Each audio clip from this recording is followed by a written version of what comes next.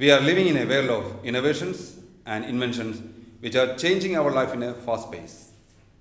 The chemistry of materials is an exciting and challenging field in the development of science and has always played a dominant role in the evolution of human civilization. The areas like aerospace, defense, automotive, and industrial branches demand on more advanced and innovative materials.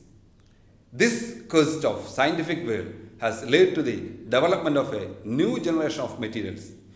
Scientific innovation is a machine or device or a scientific technique which either helps or completely solves human problems that he or she faces in his daily life.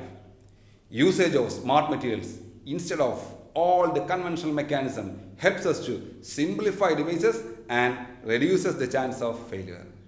Scientists develop these materials and these new materials that do certain jobs better than the existing materials or are easily or cheaper to make. We, the chemistry fellows, by applying various external factors to the existing materials or redesigning or create new materials with new properties so the materials could be so smart. Now, we got to see what are smart materials. In this present discussion, we discuss four aspects. What are smart materials? Why they are called smart materials? How they become smart? And what are the uses of their smartness? Smart materials are also called as intelligent materials or they are also called as responsive materials. They are specially designed materials. They have one or more properties that can be significantly changed in a controlled fashion of external stimuli. Now we have to define smart materials. So smart materials or intelligent or responsive materials are designed materials that have one or more properties that can be significantly changed in a controlled fashion by external stimuli such as stress, moisture, electric or magnetic field, light, temperature, pH or even by chemical composition. That means smart materials can change their inherent properties by the application of an external stimuli. This external stimuli could be either stress, temperature or electrical field or magnetic field or light energy, even the pH could be changed their smartness. Now, just see why they are called smart materials. The reason is very simple.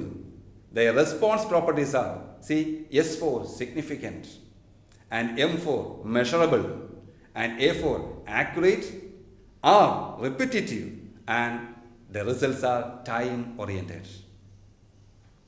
Now we have to classify the smart materials. The smart materials are classified into different types depending upon their external stimuli properties as well as their external properties. Now we have piezoelectric crystals. Their input is deformation. We just give deformation, stress or strain and the output is the potential difference. Another type of smart material is electrostrictive materials. Here the input is potential difference and there undergoes deformation. That means the shape of the material could be changed. Then is magnetostrictive materials. The input quite naturally is magnetic field and again the deformation for the material occurs. Then thermoelectric materials and we know that is temperature dependent and potential difference is the output. Then shape memory alloys, fast developing area. The temperature is the input and deformation is their output or result. Another type of smart materials are photochromic materials. The radiation, light radiations or visible radiations fall on them and their color changes. And finally we have thermochromics. Their temperature is the input and the color change is different. Now we have to see how they become smart. Taking few types of compound, we explain how they become smart. For example, I take piezoelectric materials. As we know, piezoelectric materials are materials that produce voltage when a stress is applied. By planned structures, that means by the chemical combinations or by planning, we can make these particular materials to bend, expand or contract shape when an voltage is applied. That means the shape of the material will be changed by applying the external stimuli like bend, expand or contract or when an voltage is applied. Another is magnetostrictive materials.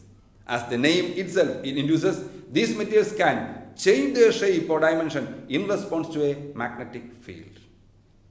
This property could be used for the smartness of those materials.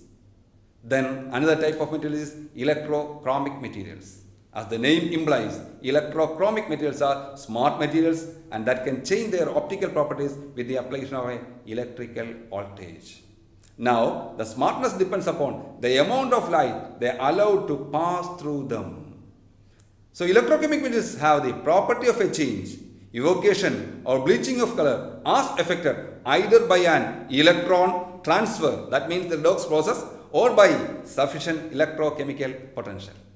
Now see that particular slide, you can see, see when that slide is transparent, when I applying an electric field, it become opaque. So electrochromic materials can be used for glare reduction, energy conversion and even in chameleonic fabrics. Now we see another example is halochromic materials. Halochromic materials is the material which changes its color when the pH occur. That means we have acidic pH and we have basic pH. So when we apply the pH, the color change of the halochromic solution occurs.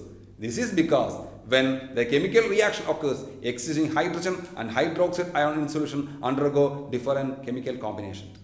Such bonds result in changes in the conjugated system of the molecule or the range of electron could be flowed. This alters the wavelength of the light absorbed which in turn result in a visible change of color.